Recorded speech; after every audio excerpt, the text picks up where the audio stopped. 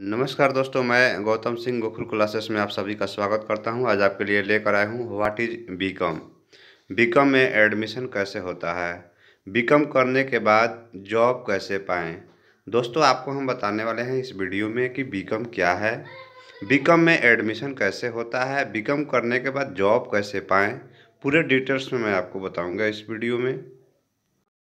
BCom क्या है?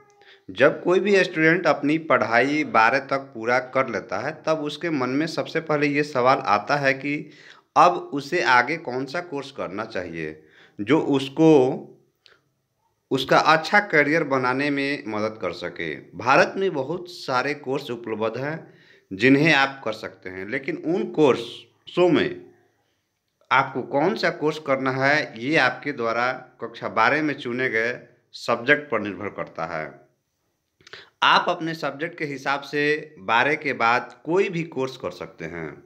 BCom का पूरा नाम क्या होता है? बैचलर ऑफ़ कॉमर्स होता है। यह एक अंडर ग्रेजुएट डिग्री है जिसे आप कक्षा बारह के बाद किसी भी कॉलेज या यूनिवर्सिटी से कर सकते हैं।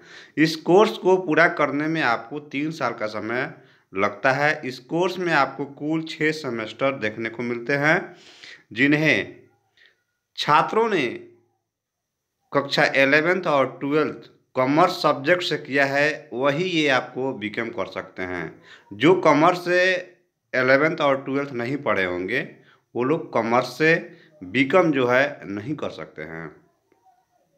अकाउंटिंग और बैंक के बारे में विस्तार से पढ़ाया जाता है। अगर आपको अकाउंटिंग, बैंकिंग, बिज़नेस, फाइनेंस में इंटरेस्टेड है, यदि आप चाहते हैं, अगर आपको अच्छा लगता है बिज़नेस और बैंकिंग में तो आप अंडर ग्रेजुएट कोर्स को कर सकते हैं। बीकॉम करने के लिए क्या योग्यता चाहिए? बारहवीं पास होना चाहिए आपको। बीकॉम करने के लिए बारहवीं पास आपको होना चाहिए और वो भी आपको कॉमर्स से जो है आपको पास होना चाहिए। यदि आप बारहवीं कक्षा पीसीएम सब्जेक्ट से भी पूरा किया है तो आप बीकॉम आसानी से कर सकते हैं। और इस कोर्स को करने के लिए आपके पास कक्षा ट्वेल्थ में कम से कम 45 से 50 प्रतिशत आपका जो है मार्क्स होना चाहिए। दसवीं पास करने के बाद दो या तीन साल का डिप्लोमा कोर्स अगर आप किए हुए हैं, तब भी आप इस कोर्स को कर सकते हैं। आप इस कोर्स को डिस्टेंस से भी कर सकते हैं, डिस्टेंस कॉलेज जो होती है, उनसे भी आप इसको कर सकते हैं। बीकॉम कोर्स में एडमिशन कैसे लें? अगर हम बीकॉम कोर्स के एडमिशन प्रोसेस की बात करें तो आप इस कोर्स में दो तरीके से एडमिशन ले सकते हैं। पहला, आप इस कोर्स में मेरिट बेस पर एडमिशन ले सकते हैं और दूसरा इंट्रेंस एग्ज़ाम बेस से। ज़्यादातर कॉलेज में आपको मेरिट बेस पर ही एडमिशन मिल जाता है। यानी कि आपके कक्षा बारह के मार्क्स के आधार पर आपको एडमिशन मिल जाएगा। लेकिन कुछ ऐसे हाई स्टैंडर्ड के कॉलेज हैं, जहाँ आपको एडमिशन लेने के लिए आपको एग्ज़ाम देना पड़ता है। तो अगर आपको उन कॉलेज में एडमिशन लेना है तो आपको पहले एग्ज़ाम देना होगा। आप जिस कॉलेज या यूनिवर्सिटी में एडमिशन लेना चाहते हैं, उस यूनिवर्सिटी के ऑफिशियल वेबसाइट पर जाकर आप एग्ज़ाम के लिए आवेदन कर सकते हैं। उस विश्वविद्यालय के प्रवेश कार्यालय में जाकर ऑफलाइन भी आप आवेदन कर सकते हैं। बीकॉम की फ़ी कितनी होती है? इस कोर्स के फ़ी की बात करने से पहले ये जान लें कि इसमें आपको दो प्रकार के कॉलेज मिलते हैं, एक प्राइवेट और एक गवर्नमेंट। प्राइवेट कॉलेज से बीकॉम करते हैं तो आपको लगभग दस हज़ार से लेकर एक लाख पर एनुअल तक फ़ी आपको देना पड़ेगा। यदि आप गवर्नमेंट यूनिवर्सिटी से बीकॉम करते हैं तो आपकी फ़ीस लगभग पाँच हज़ार से पंद्रह हज़ार पर एनुअल तक हो सकती है। बीकॉम की फ़ीस आपके द्वारा चुने गए कॉलेज पर निर्भर करता है, लेकिन गवर्नमेंट कॉलेज की फ़ीस प्राइवेट कॉलेज की फ़ीस से मुकाबले बहुत कम होता है। बीकॉम कोर्स में विषय कितने होते हैं? बीकॉम कोर्स तीन साल का कोर्स होता है छः सेमेस्टर होते हैं और छः सेमेस्टर के हिसाब से इसका कोर्स डिवाइडेड होता है। बीकॉम कोर्स में आपको वही चीज़ पढ़ाई जाती है जो कॉमर्स से जुड़ी होती है। कोर्स को आपको ज़्यादा डीपली पढ़ना भी ज़रूरी होता है, ताकि आप अच्छे अंक प्राप्त कर पाएँ। चलिए अब आपको हम बताते हैं कौन कौन इसमें सब्जेक्ट होते हैं। Accounting economics, business law, statistics, communication, business system analysis, economics, transport, economics, marketing insurance finance management science mathematics तो दोस्तों, आपको हम बता दें ऑपरेशन मैनेजमेंट तो ये बीकॉम कोर्स के कुछ सब्जेक्ट जो आपको इस कोर्स में देखने को मिलते हैं, आपको बीकॉम में इसी तरह के सब्जेक्ट पढ़ाए जाते हैं। इस कोर्स में आपको लगभग पाँच से सात सब्जेक्ट पढ़ाए जाते हैं और ये सारे सब्जेक्ट आपके कॉलेज पे डिपेंड करते हैं कि आपको कॉलेज में कौन कौन से सब्जेक्ट अवेलेबल है।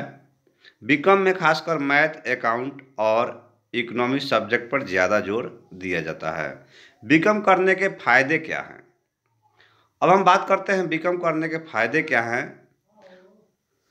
तो चाहे तो ये कोर्स कर सकते हैं और इस कोर्स को करने के बाद आपके पास बहुत से क्षेत्र में जॉब अपॉर्चुनिटी मिलती है। जैसे कि आप सब जानते हैं कि बी कॉम यू जी यानी कि अंडर ग्रेजुएशन कोर्स है, जो आप इस कोर्स को पूरा कर लेते हैं तो उसके बाद बहुत से कॉम्पिटेटिव एग्ज़ाम जैसे एसएससी यूपीएससी यूपीपी एग्ज़ाम भी दे सकते हैं, जिसमें आपसे ग्रेजुएशन डिग्री मांगा जाता है।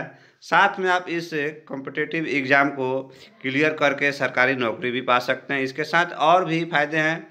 बीकॉम कोर्स के जैसे आप इसे कंप्लीट करने के बाद प्राइवेट जॉब भी कर सकते हैं या फिर आगे की study MCom M B A भी कर सकते हैं। बीकॉम करने के बाद आप एक ग्रेजुएट कहलाते हैं। ये बात तो आपको पता होगी। साथ में अगर आप, अगर आपने बीकॉम एक अच्छे कॉलेज या यूनिवर्सिटी से किया तो आपको किसी भी कंपनी में एक अच्छे पोस्ट पर नौकरी मिल सकती है। बीकॉम करने के बाद प्लेसमेंट कहाँ होती है? जॉब कैसे होती है आपकी? अब हम बात करते हैं कि जब आप बीकॉम कंप्लीट कर लेते हैं, तब आपकी जॉब या प्लेसमेंट कौन सी कंपनी में हो सकती है? बहुत सी ऐसी कंपनी है जहाँ आपकी जॉब भी काम करने के बाद लग सकती है। जैसे H D F C bank P V T limited H S B S are the top recruited Tata consultancy service limited foreign trade centre योग तो ये कुछ कंपनियाँ हैं जहाँ बीकॉम करने के बाद आपकी जॉब लग सकती है। इसके अलावा भी बहुत सी कंपनियाँ हैं जहाँ आप बीकॉम करने के बाद जॉब कर सकते हैं। बीकॉम करने के बाद जॉब जो है आपको ये तो आपको पता चल गया है कि बीकॉम करने के बाद आपकी जॉब कौन सी कंपनियों में लग सकती है। अब हम बात करते हैं कि आपकी उन कंपनियों में जॉब कौन सी पोजीशन पर जॉब लग सकती है। या यूँ कहे तो आपको बीकॉम करने के बाद क्या बन सकते हैं? Accountant operation manager financial analysis finance manager account executive तो बीकॉम करने के बाद आप इन सभी में से किसी भी एक चीज़ पर बन सकते हैं और किसी भी अच्छी कंपनी में जॉब के अपने एक अच्छा करियर बना सकते हैं। बीकॉम करने के बाद सैलरी कितनी मिलती है? सैलरी की बात करें तो इस कोर्स को करने के बाद आपको लगभग तीन से पाँच लाख पर एनुअल मिल जाता है। तो ये ज़्यादा या कम भी हो सकता है। आपको पोजीशन और जॉब लोकेशन पर निर्भर करता है। साथ ही में जैसे जैसे आपका एक्सपीरियंस बढ़ेगा, वैसे ही आपको सैलरी भी जो है बढ़ते जाएगा। अब हम अब हम आपको बताते हैं बीकॉम करने के लिए कॉलेज कौन है। बीकॉम करने के लिए आपको भारत में बहुत से टॉप लेवल के कॉलेज हैं यूनिवर्सिटी मिल जाएँगे जहाँ से आप बीकॉम कर सकते हैं और किसी भी अच्छे कंपनी में जॉब पा सकते हैं। जैसे Shri Ram college of commerce Delhi lady Shri Ram college for women, New Delhi Madras Christian college, Chennai. S T Xavier college, Kolkata. Hansraj college Delhi Ethiraj college for women, Chennai. Management development institute, Gurgaon. तो दोस्तों, आपका ये था बीकॉम्स करने के लिए college के नाम, जहाँ से आप बीकॉम कर सकते हैं। तो दोस्तों, आपको ये वीडियो कैसा लगा? अगर आपको अच्छा लगा तो वीडियो को लाइक करें और चैनल को सब्सक्राइब नहीं किए तो प्लीज़ चैनल को सब्सक्राइब करें और बेल आइकन दबा दें ताकि अगले वीडियो का नोटिफिकेशन आपको मिलते रहेगा। थैंक यू दोस्तों। राधे राधे दोस्तों।